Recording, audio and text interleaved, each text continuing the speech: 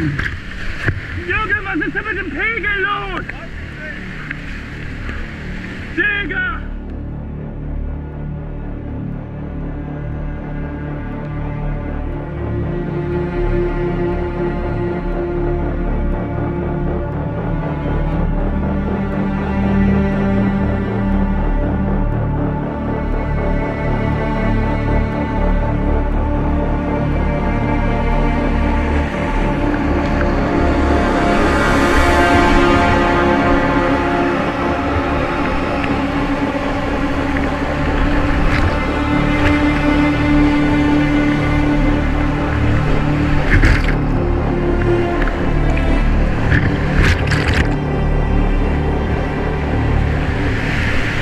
Viel, viel mehr Wasser.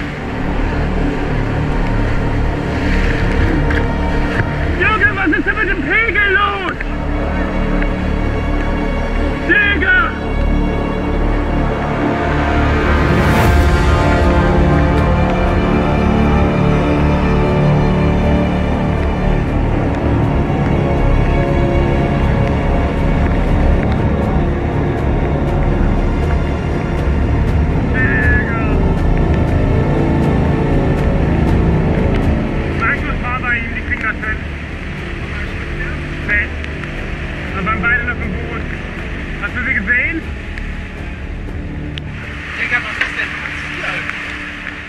Tag, Sonne hat geschienen.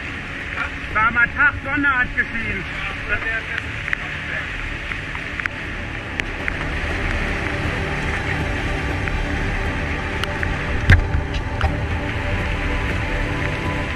Sag Torge und Anneke, die sollen hier einsteigen. Ja, ich warte hier. Ist schon zweimal Wellerbrücke gefahren, bei der letzten Runde wurden wir voll von dem Pegel überrascht. Junge, Junge, Junge. Ich weiß nicht, ob das Kraftwerk liegt oder heute war ein sonniger Tag, kann auch daran liegen. Das ist, boah. Vor allem, wenn du nicht damit rechnest und dann auf einmal, das war ganz schön doll. Wir sind ganz normal den Racecourse gefahren, sind eingestiegen, war so 1,96.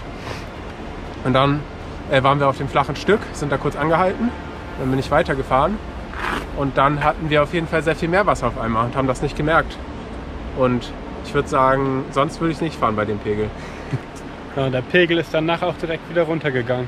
War eine schöne Überraschung auf der Wellerbrücke. Ja, vor allem innerhalb von so, keine Ahnung, einer halben Minute ist es so krass gestiegen von eigentlich gut fahrbar, so 1,96, sehr okayer Pegel, zu 2,10 Meter eigentlich nicht mehr fahrbar. Ja, wir haben es alle überlebt.